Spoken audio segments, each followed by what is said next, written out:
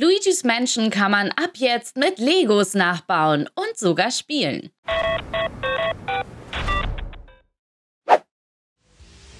Dabei kommt Luigis Gruselspaß mit ganzen drei Erweiterungssets zu Lego.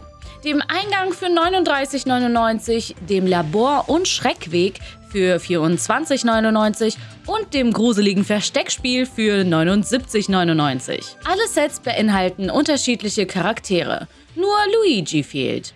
Den muss man nämlich im Abenteuer mit Luigi Starter Set für 59,99 zuerst erwerben. Danach kann man all die neuen Erweiterungen interaktiv nutzen. Dazu eignet sich außerdem die Lego Super Mario App, mit der man interaktive Abenteuer mit Luigi zaubern kann. Der Eingang kommt aber trotzdem mit drei neuen Figuren, dem Polterpinscher, Herrn Finsterling und Buhu. Beim Labor- und Schreckweg muss Luigi die neuen Figuren Professor E. Gid und einen Goldgeist besiegen und im gruseligen Versteckspiel gibt es ganze vier neue Figuren. Toad mit einem ängstlichen Gesicht, den Müllkübelgeist, den Greifergeist und König Buhu. Wie findet ihr die Erweiterung mit Luigi? Oder gibt es etwa einen anderen Super Mario Charakter, den ihr euch schon ewig bei Lego wünscht?